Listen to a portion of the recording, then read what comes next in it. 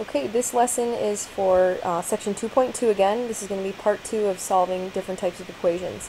Most of this is going to be a review of the video beforehand, so if you want to just stay tuned for just problems numbers 1 and 2, the rest of this is pretty much a review. You can check your answers, make sure you key these though. Like, so go through, check your work with the key, make sure you know how to do the problem. Only play this back if you actually need to see it, but there are some tricky questions on here, um, and I just want to make sure that you know how to do all of them. Okay, so first question here, solving literal equations, usually they give you guys trouble um, because you're not really sure what to do when you have all these variables in there. But remember, you can't do anything that you couldn't normally do with just numbers. So if I have a variable in the denominator, like I do here, oops, sorry, it's z we're solving for, um, I need to get that out of the denominator. I can't just multiply by z though, because right now it's attached, right? z and w are attached. So z plus w is going to be multiplied on both sides, and when I do that, on the right hand side, I'm left with just z because this cancels out. On the left hand side, I have w times z plus w. Now, some of you guys stop right here and you leave your answer like this, but notice how you have two z's. Can't do that. You need to get z completely isolated, meaning you only see one z, and that's you know on one side of the equation by itself. So um, instead of just subtracting z, this would be illegal, right? Because it's again attached to the w here um, we need to distribute. So I'm going to do that first. I get wz plus w squared equaling z. And then now I'm free to move that term over the other side by subtracting. So I have w squared equals z minus wz. I'm now going to factor the z out of here. I'm left with z times 1 minus w. And now it's really easy to isolate the z. I just get rid of this entire term here. 1 minus w. This is going to cancel and I'm left with w squared over 1 minus w equaling z. In the second question, this I think is going to give people a lot of trouble when they see a question like this because um, you're used to using or seeing a quadratic um, in terms of x, but now we're solving for y in terms of the other letters here. So this time you're going to notice that this is a quadratic actually because you see y squared you also see just a linear term here, and then this can be treated because you're not using y as your variable, right? Or x as your variable, I'm sorry. This can be treated like a constant. So I'm going to just move this over and rewrite this. So xy squared minus 5y minus 3x equals 0. So the tricky part here is recognizing that this is just a quadratic, okay? Look at, you have an a term of x, a b term of negative 5, and a c term of negative 3x. So instead of trying to like factor this or, you know, uh, use a different method, I'm just going to go straight into the quadratic formula here.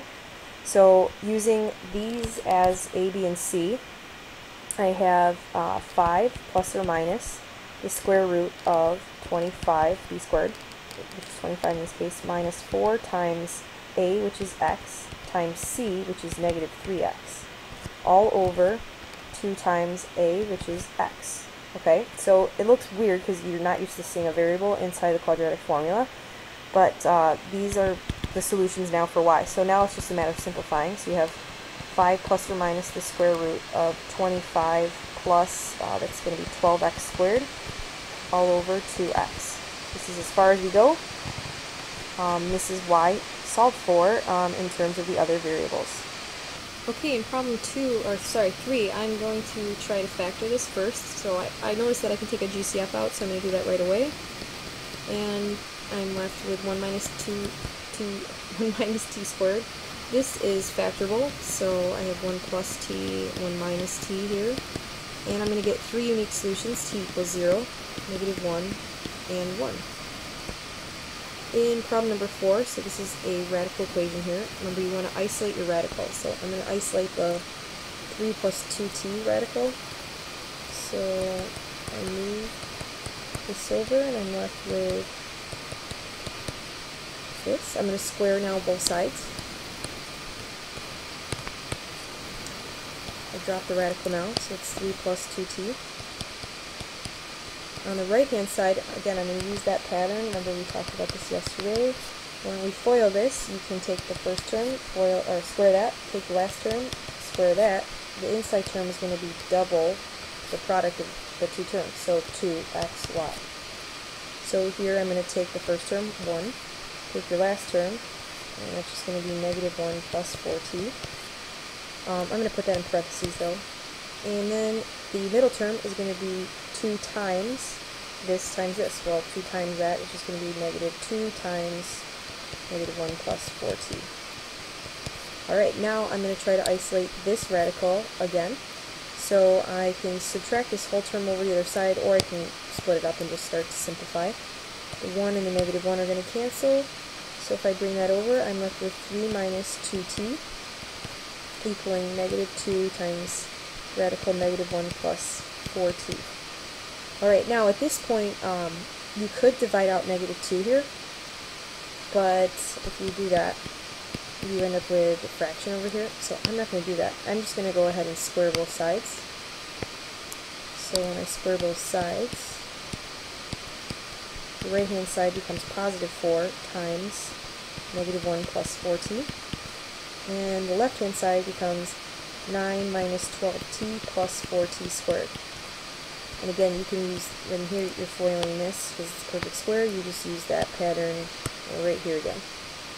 Alright, now I just have a simple quadratic that I'm going to solve. So 4t squared, um, let's see, this is on the right hand side, negative 4 plus 16t. Bring that over the other side, you get negative 28t, and then uh, plus 13 equals 0.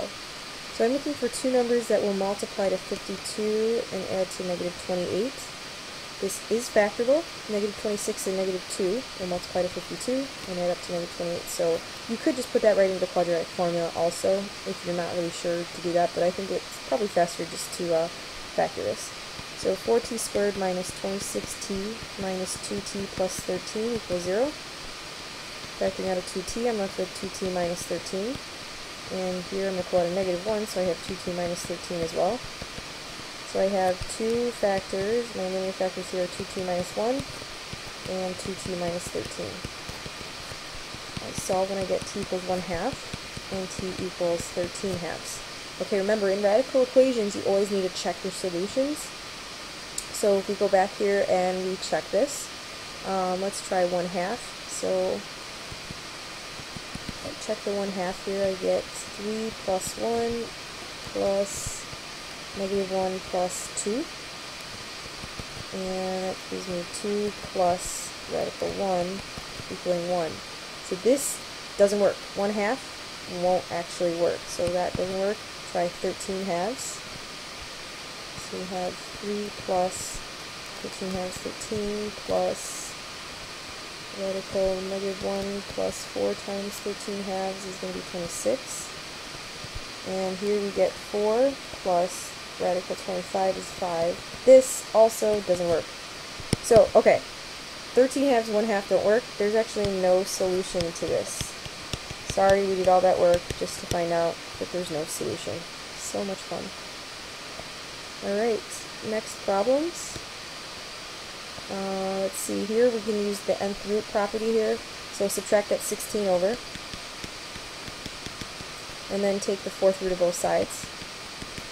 Remember that this is going to be positive or negative, fourth root of 3. So we get two unique solutions here. x equals 2 plus or minus the fourth root of 3. In number 6, I wrote this is not a typo because um, once you subtract that over to either side, I want you to make sure that you recognize you're taking the fourth root here of a negative number. So when you solve this, this has no real solutions. So we would write no real solutions. So we're not dealing with complex solutions quite yet.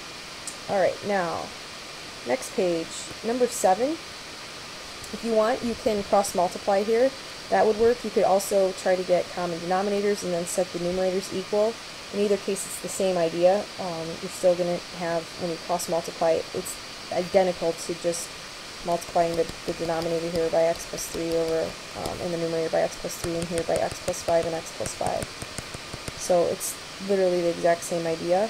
Um, and then setting the numerators equal. So I'm just going to cross multiply. So if I multiply this times this, I get x squared uh, minus x, no, plus x minus 6. And then on the other side I have 7 times x plus 5. So alternatively, what you could have done also, like I said, is multiply by x plus 3 over x plus 3. on this side and multiply by x plus 5 and x plus 5. And then once we have the denominators equal, those don't matter. We just solve the numerator here. If you look, that's identical to, left side is identical to this, right side is identical to that. So either way, works out the same. So we get x squared minus 6x, uh, 35 minus 41 equaling 0. I'm just going to stick that right into the quadratic formula. Um, when you check your solutions here, just make sure that you don't get x equals negative 5 or x equals negative 3 because obviously those are not within the domain here because you can't have your denominator equaling 0. So I'm going to do quadratic formula real quick. Okay, so let's go ahead and simplify the quadratic here. We get x equals 6 plus or minus, uh, let's break that up into root 100 root 2, so that's going to be 10 root 2 over 2. So x equals 3 plus or minus 5 root 2. So there's your solutions. Now neither of those are um, equal to negative 5 or negative 3 obviously, so those should both be in your domain, and those are your solutions. Okay, and number 8, this is one where it's not a quadratic, but we can make it into a quadratic because I see that this here uh, multiplied by 2 gives me the other exponent, and I also have a constant. So one exponent is double the other, and we have a constant term, so I'm going to do substitution and say let t equal x to the 3 fifths power. So by doing that, I can now rewrite this as 2t squared minus 3t minus 5 equals 0. And then I'm going to go ahead and factor this. So I have 2t squared minus 5t plus 2t minus 5 equaling 0. Pull out a t, and then pull out 1. Your linear factors here are t plus 1 and 2t minus 5 solving, I get negative 1 here, and t equaling 5 halves. And then again, we're going to go back to this idea that we made this, uh, we let t equal x to 3 halves, so I'm going to substitute x to 3 halves back in. And x to the 3 halves equaling 5 halves. Alright, now, we talked about this in the other video. We want to raise this to a reciprocal power of 5 thirds in order to isolate x. So we have x equaling on the other side, I can rewrite this as 3 to the negative, uh, sorry, cube root of negative 1 to the fifth power. Now, when I raise negative 1 to the fifth power, I get a negative number. I can take the cube root of a negative, so my answer here is just cube root of negative 1. Uh, let's see over here. Let's raise this to the 5 thirds power as well. So I get x equaling, and if you want to rewrite this, you can rewrite this as well as the cube root of 5 halves raised to the fifth power. And this does not have a positive and negative solution, it's just this one unique solution here, and this unique solution right here. Alright. Oh, sorry, I should have simplified that. Cube root of negative 1 is just negative 1, right? So, those are your two solutions. Um, and we don't need to check either of those. We didn't introduce an extraneous solution, so those should both work. Alright, this number 9 is very similar to the last question that you guys worked on um, in the problem with the absolute value equations and the other uh, worksheets. So remember, there's only two cases, either, and I used, I think, 4 and negative 4. So let's say the absolute value of 4, and on the other side I want to put something equivalent in there. Well, I can put negative 4 in there, or I can just put 4 in there as well to write something true. So that means either the insides are equal or the insides are opposites. So those are the two cases I want to set up. So I have x minus 3 can equal 3x plus 6. And the other uh, case is that x minus 3 is equal to the opposite of 3x plus 6. So we get 2x here equaling negative 9, x equals negative 9 halves. And your other solution here, x minus 3 equals negative 3x minus 6. So uh, let's see, 4x equals negative 3. x is going to equal negative 3 fourths. So these are your two unique solutions here. Both of them do work. They are both real. Okay, last but not least, problem number 10. And this is one, again, that I want you to make sure that you're thinking about how to answer this. Because of course, you could set up, you know, both cases x minus 3 is less than or equal to 0, um, because it's either positive, you keep it the same, or you do your opposite. The opposite of x minus 3 is less than or equal to 0, and you can solve both of these, but let's just be smart about this right away. this is ha this has the absolute value less than or equal to 0. Less than or equal to 0. So if this was the absolute value of x minus 3 less than 0, this has, of course, no solution because you can't have uh, an absolute value, which is always going to be either 0 or positive, right? You can't have that less than uh, 0 because it can't be negative. So that, in this case, that would be no solution. However, we can solve it when it's equal to 0, right? There is a possibility x minus 3 could actually equal 0, so that's really equivalent to what we're solving here. Okay, so x minus 3 equals 0, we just get one solution, x equals 3. This is the only case when your original equation um, holds true, or your sorry, your original inequality is actually true. So the absolute value of x minus 3 only when x is 3 is less than or equal to 0. And that is the uh, review for part 2. Uh, again, check your key always um, and make sure your solutions are right, and then you don't have to listen to me drone on and on and on.